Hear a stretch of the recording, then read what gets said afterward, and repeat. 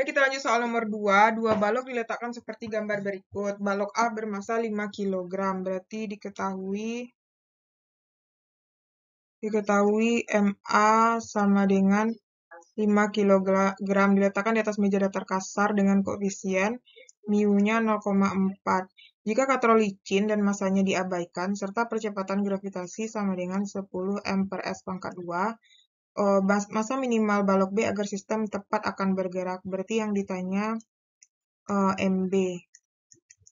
Tepat akan bergerak itu berarti oh, artinya sigma F-nya masih 0 ya. Sigma F-nya masih 0.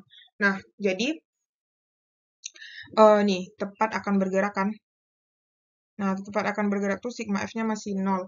Jadi sekarang berarti kan ada FG di sini kan? Ada FG. Terus sini ada W, sini ada NA. Nah, kita cari dulu FG. FG itu kan mu kali N. Nah, mu kali N itu sama dengan WA. Berarti mu-nya 0,4. WA itu MA kali G. 0,4. MA-nya adalah 5 kali 10. Berarti jadinya 20 Newton ya. Nah, berarti di sini ada WB kan.